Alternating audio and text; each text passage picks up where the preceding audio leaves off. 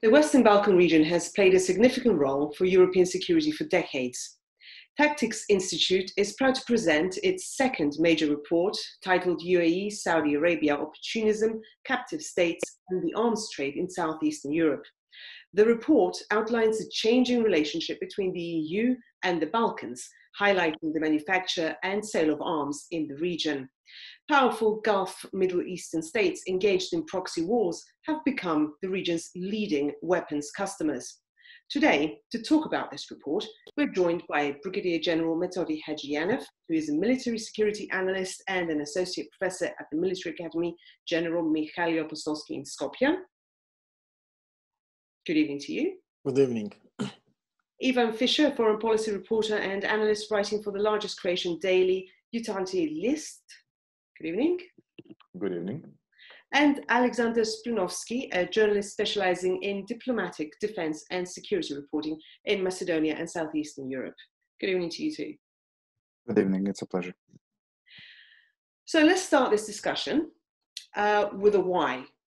And the why is why does a military procurement and investment take place from the UAE and Saudi Arabia, particularly in the Balkans? Well, um, I believe that uh, both countries that you have mentioned are trying uh, to find their place in the current uh, geopolitical context that is ongoing. And they're trying to use the opportunities of the vacuum that has been created in the Western Balkans with uh, moving away, if I could say, uh, from the Western politics. Uh, usually, depicted into the European Union approach and uh, United States approach, um, move away that uh, has been created uh, uh without uh, the losing the momentum with the European Union and uh, largely focus of the United States to the Middle Eastern um, related issues, which created those security vacuum or power vacuum in the region. And they have tried to also capitalize on the uh, liberalized uh, market that has been established uh, throughout the years after the transition. So basically, they are seeing this uh, as an opportunity that those uh, qualitative production of the small arms fires could be used as an as a tool that can maximize their um, their efforts uh, elsewhere, especially in uh, the areas where they have particular interest, such as in uh, uh, let's say in uh, Yemen, where they have actually we have seen the reports where they have abused or uh, transferred uh, certain types of weapon that have been banned or uh, proclaimed as a ban by the European Union 8S uh, weapons criteria. So one of the reason is that they are trying to exploit this uh, region uh, in order to maximize their position with the European Union and of course to um, use it as a, a platform that can later be used in negotiation with the European Union and uh, expanding their markets. Mm-hmm. So I mean, okay. Uh, if there is no uh, concrete way of uh, how we do this, if I may. Uh, so obviously, uh, we are talking about um, a region uh, which has the highest risk of, of, of producing conflicts in Europe, but also a region that has um, really, really small economical impact in, in, in the world economy today. So regarding from this perspective, for me, it's logical uh, why the Balkan countries uh, are trying to find um, uh, a way how to to inject uh, a huge amounts of of uh, money and, and and capitals through selling um, in the given geopolitical circumstances uh, in the world selling arms and weapons. So uh, discussing this uh, subject um, it's it's quite logical for me because this is the region as we all know that had um, a long, long uncertain period uh, in, in, in the so-called Yugoslav wars, and therefore, after the ending of the Yugoslav wars, which have been something more than 20 years, let's say, um, there is a like obviously a huge stockpile of, of uh, weapons that are needed to be transported from our region there. So for me, it's quite logical that this thing happens. And obviously we have the resources, uh, sorry, the country have the resources and find the necessary perspective how to transport the arms from our region to the buyers that are. So giving in mind the, the, the, the global situation and, and the development of the Middle East, like uh, groups like ISIS and Al Qaeda in the Middle East, and so on and so on and so on. That's a huge developing market, which obviously some uh, centers of powers from the Balkans use uh, the opportunity in this situation to transport everything from here to there and make money in the same process. I mean, the thing about uh, weapons in the Balkans is uh, there's a burgeoning, well, an active uh, weapons manufacturing industry. There are also huge stockpiles left over from the war. And for those that remember, during uh, Yugoslavia, Yugoslavia was moderately militarized state, which basically aimed to secure politically its independence from East and the West by demonstrating its force of arms. So it was a significant uh, weapons arms producer and arms exporter. And all of those factories are more or less still active in some form in the Balkan countries. Now, following the Yugoslav wars, uh, the weapons production has continued. The stockpiles of old weapons have remained. And what the countries have faced is an extremely competitive global market for small arms and, and larger weapons. Uh, where basically it's very very difficult to to break through only with quality. You have to have political connections you have to have influence. And so it's very difficult for the balkan countries to sell their weapons in the west where they are usually perceived as you know the uh, knockoffs of soviet weapons. So there are weapons which are difficult to sell in the west but are have proven to be quite easy to sell in the Middle East because there is a growing demand. And as long as it can be done on paper legally, there is literally nothing preventing the governments from from uh, using this opportunity. I mean, they have the supply and they are in search of demand, and demand is simply there in the Middle East. Mm-hmm. What would you say um, is the break in the chain of accountability that allows exports to be diverted to all regions?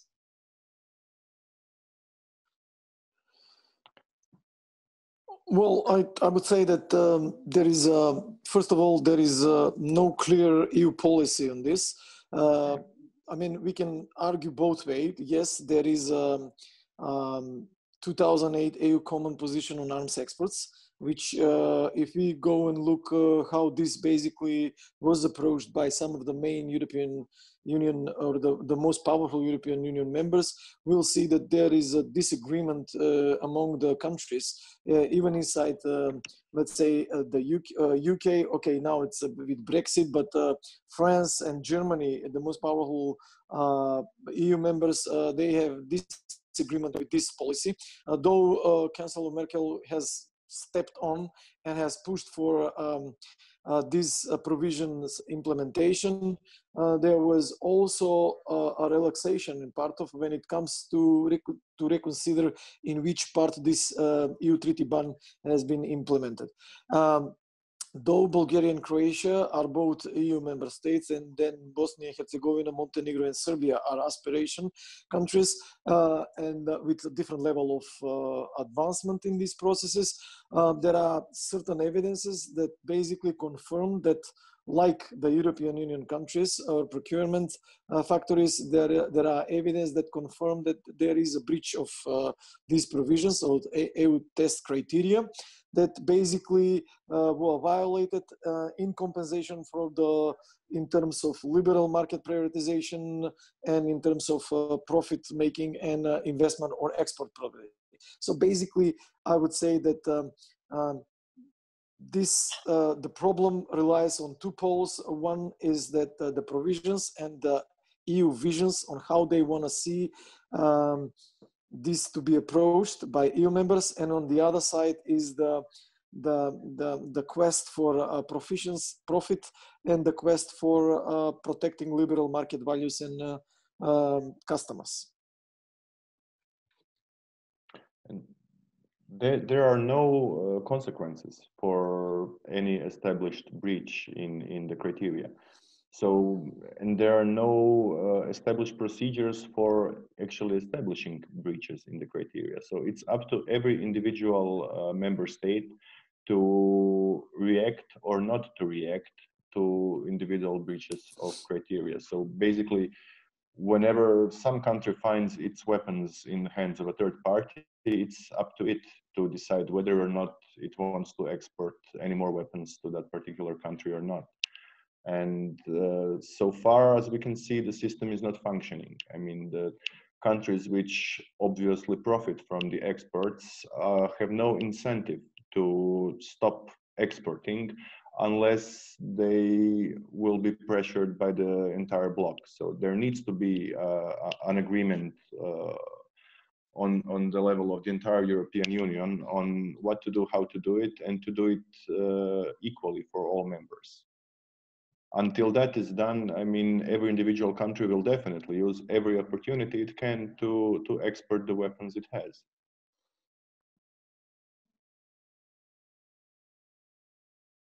Mr. Srbinovski?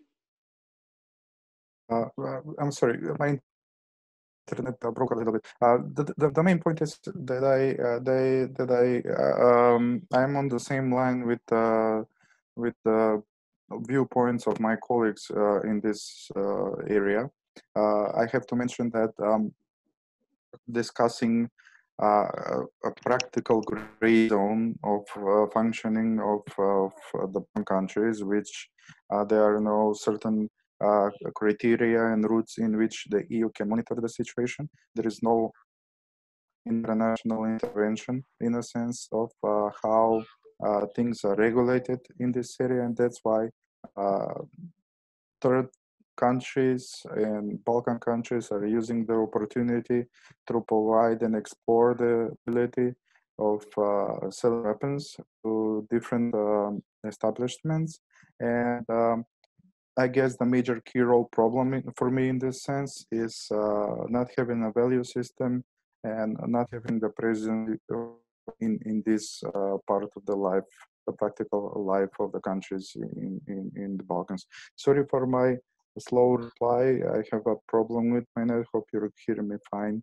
Don't worry. It's, uh, it's slow a little bit on my side. It's fine. We can hear you. Um, Okay, so following that, um, and finally to my last question, um, can you tell us what is the captive state phenomenon and would you say that there is any evidence at all to suggest that Serbia or any other um, country are what you might term a captive state? Uh, it, it's it's uh, uh, we're talking if i may first we're talking about uh, such a wide uh, definition of of uh, of a problem uh, defining a captive state in this time especially when we're talking about the european part Uh, of the world it, it's hard. But there are some some certain pinpoints of uh, of events uh, some certain examination of international institutions and stuff that that, that can pinpoint that some certain uh, areas of uh, where the Balkan countries function in general, not speaking only for Serbia, are not uh, not fully fulfilled uh, to, to running the countries in, uh, by the democratic principles. Um, the countries like, for example, Croatia and Bulgaria and so on that are in the, uh, in the European Union by far suppress the other regional societies in the countries.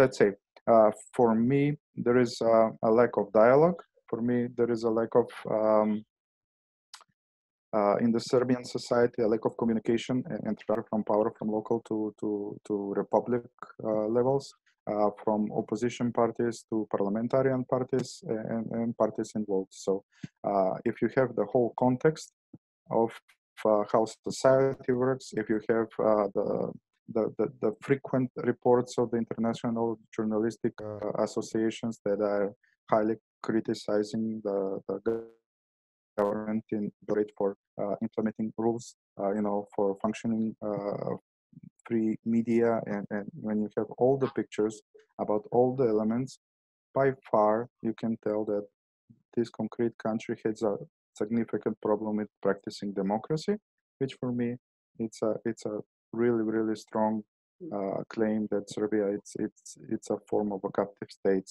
uh, maybe the the one with the lowest uh, level of democracy. If you have an example, uh, if you if you do uh, compare it with some certain countries, maybe Kosovo or, or something like it have a bigger, even a bigger problem than, than Serbia regarding this this topic. So, if you have um, society that's run uh, non-democratically, if you have strong party members, if you have strong uh, political forces that are running uh, the country and deciding uh, about almost every aspect of the society without transpor- transparency, without uh, free media, without free political will, which is evident in, in, in, in the last uh, election cycles and, and so on and so on in Serbia, then you can concur that we are talking about at least a problematic, uh, a, a, country that has a problematic society for me. Mm Okay, I'll suggest that even goes uh, second and I'll go the last. So because I was always mm. first. There, there are definitely democratic deficits all over the Balkans. Uh, in some way, they are most pronounced in, in Serbia, as, as my colleague said, uh, primarily due to the uh, breakup of most necessary uh, democratic Uh, mechanisms necessary to maintain at least a, a, minimal level of democracy. Now we have a semi-functioning state, definitely in, in Croatia and Bulgaria, and I, I would venture a guess that most of the countries in the region have at least they at least have an opposition, you know, which Serbia does not have. So we basically have a single party system where everything is top down decided by a single person, which is not even uh, de jure uh, the the leader of government. So so the current president uh, does not have uh, legal power that he wields de facto, that he leads uh, practically. I mean, so th this is obviously very much uh, not a democracy at this point, considering the, the media, considering the, I, I think that the, the free media uh, list in Serbia can now be brought down to about two or three outlets, and they are basically consumed by 10 or maybe 15% of Serbs at this point. So the, the majority of Serbs are reading the newspapers which are blaming the non-existent opposition for most of the current problems in the country. So this is, I'm afraid that this seems like a self-perpetuating machine, that this is uh, a, dissolution of democratic institutions which uh, will, for the long term, uh, make it not only unlikely but nearly impossible to re-establish some democratic uh, mechanisms and criteria. Okay, I'll, uh, I'll just confirm this and put it in more of the European Union context. Uh, uh officially, this uh, term uh, has been used in the, the context of the European Union communication uh, starting in 2017. However, in the first document, it basically Balkan states were put in the captive state phenomenon context in official document uh, titled a credible enlargement perspective for an um, enhanced EU engagement with the Western Balkans uh, back in 2018 where European Commission basically communicated with the Euro Parliament expressing the view of the former uh, EU uh, Commission President uh, Juncker. Uh, but basically when we talk about the captive state phenomenon we are talking about the three main uh, pillars that create this phenomena and these are vulnerable institutions that are still only an instrument of ruling parties disposal. A fragile democratic culture and a popular understanding that corruption is incurable and in some way justified. And third a lack of political will for change and main, uh, mindset that enlightenment corruption does not pay off. So basically if you put this into the Balkan, Western Balkan uh, context, you will see this across, uh, starting even from, let's say, Slovenia going down to uh, North Macedonia, you will see in the practice in the history that there were uh, cases of uh, and scandals of uh, corruption where uh, prime ministers were involved into into this phenomena. And put in you to your question does serbia uh, fits into the profile i would say not just them but several countries fits in uh, to this because and this is not us saying this, but also European Union has recognized officially that if uh, Balkan states uh, continue to uh, engage with these, uh, let's say, three pillars that I have mentioned, they will basically remain as a captive state. What is also important to mention is that um, in in a way, I'm not saying that I'm. I, I, don't want to say that this will be totally EU false, but in a way, EU has supported this phenomenon by uh, favorizing uh, the so-called stabilocracy effect, where they have trade stability for uh, basically um, uh, more, um, let's say, uh, uh, the, the, for accountability and for the bro more broader efforts in uh, uh, putting democratic transition and practicing of democracy. So I would say this is uh, uh, a result of the both uh, the lost interest in the Western Balkans and definitely of the corrupted elites that has run um, the transition period and are still in some way in the political milieu in the Western Balkans. Thank you all for this very interesting discussion and for the extremely interesting report and for your time. You're welcome. It's a pleasure. Nice to be here. Thank you. thank you